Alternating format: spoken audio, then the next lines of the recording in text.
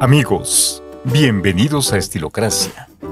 Y recuerden que el estilo no es algo con lo que se nace, sino algo que se aprende con el tiempo y en el camino. Querido estilócrata, recuerda que las personas activas se destacan entre la sociedad por desarrollar actividades diferentes al resto. Es por eso que ser hombre de inactividad puede arruinar tu imagen por completo. Estilócrata, deja de ser perezoso. Es momento de que disfrutes o experimentes con actividades diferentes solo o en compañía de otras personas. Quédate, ya que a continuación te diremos algunas de las actividades que pueden modificar tu rutina de una buena manera. Toma nota. 1. Busca un defecto para arreglarlo. Cuando hay un hombre en casa, ¿quién necesita de un plomero o de un mecánico? Muchas veces, los hombres tienen una pasión por arreglar las cosas que no son tan complicadas dentro del hogar. Es momento de que desempolves tus herramientas y arregles alguna imperfección. Solo es cuestión de buscarla. Al arreglar algún defecto, es una buena idea para perder el tiempo de una forma productiva. Porque en tu casa siempre existirá una pequeña cosa que necesite ser arreglada. Así que pon manos a la obra. Quizá lo primero que debes arreglar son tus herramientas. Ve al súper, compra una caja de herramientas. Las hay muy económicas. Limpia tus herramientas y haz una lista de cuáles te faltan.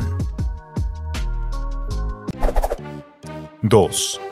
Busca alguna disciplina como distracción. Un hombre que está tirado en el sillón la mayoría del tiempo no proyecta una buena imagen.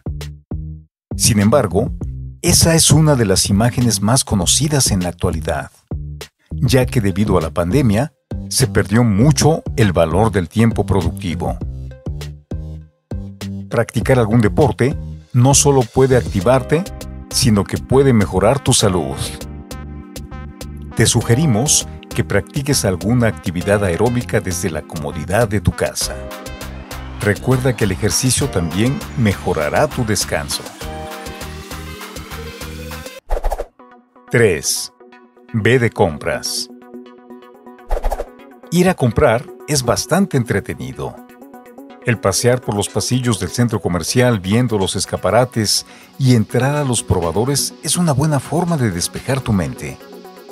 Además, puedes conocer personas. Recuerda ser consciente que solo debes comprar lo que tu bolsillo te permita. No queremos que te estreses porque compraste de más y ahora tengas cuentas por pagar. Ir de compras es una actividad que nos brinda libertad, porque genera un paréntesis de nuestra cotidianidad. Pero no necesariamente debes comprar cosas. Puedes comparar precios y refinar tu gusto. 4. Cocina. Una forma de ser creativo y despejar tu mente después de un largo día de trabajo es cocinar. Además, el saber cocinar te brinda puntos en el proceso de conquista de las mujeres, ya que para ellas, que un hombre cocine es demasiado atractivo. Debes saber que la cocina es una buena forma para el desarrollo de habilidades. La vista, el olfato y el gusto estarán más desarrollados.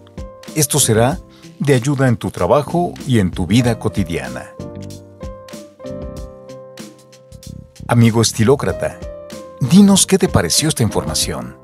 Déjanos tu opinión en la caja de comentarios y no olvides darle clic a la campanita para que sepas cuando subimos un nuevo video. Nos vemos la próxima.